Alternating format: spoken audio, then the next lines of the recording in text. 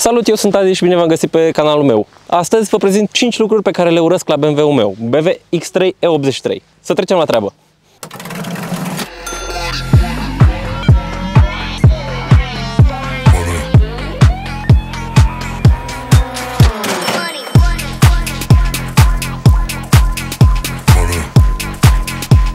They took my fucking money. Let's get money, motherfucker. Get Primul lucru uh, pe care îl urăsc la BMW este motorul.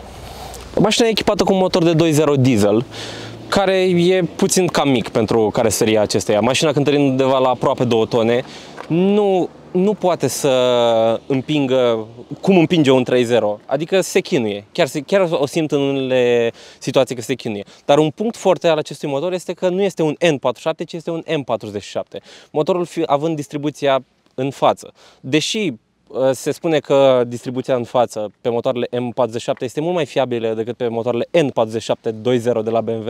Tind să cred că și asta are unele slăbiciuni, adică la un moment dat po- poate să, înce- să înceapă să zorne și în momentul ăla trebuie schimbată. Deci la acest cod de motor M47 trebuie atenție sporită la nivel de distribuție.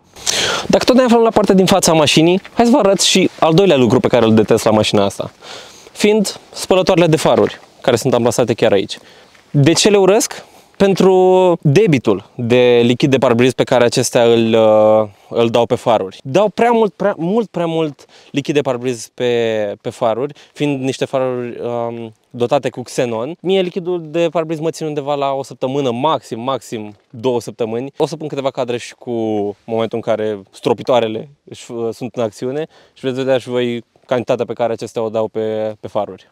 Să trecem la următorul. Un al treilea lucru care mă deranjează la BMW-ul meu e chiar cutia de transfer. Având în vedere legătura directă între roți și cutia de transfer, în momentul în care pneurile au o uzură, unul din pneuri are o uzură mai mare, câțiva milimetri, sau presiune inegală în roți, roata poate să facă o revoluție în plus. Și cutia de transfer e un pic confuză și nu știe exact cum să împartă puterea. puterea. Se cauzează prin niște smucituri care se simt chiar și la viteze mici, dar și la viteze mari. În momentul în care se accelerează, e, mașina este în sarcină maximă, te smucește chiar, și chiar se simte și înăuntru și e destul de deranjant. Lucru pe care l-am pățit și s-a remediat prin uh, reglarea presiunii roților. Un alt minus al acestui BMW este confortul.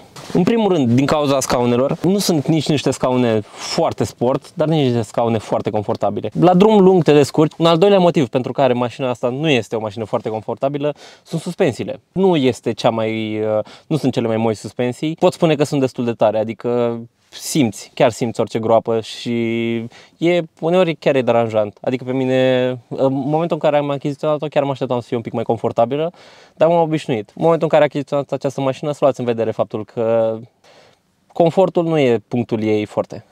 Un alt lucru pe care îl urăsc la această mașină este DPF-ul.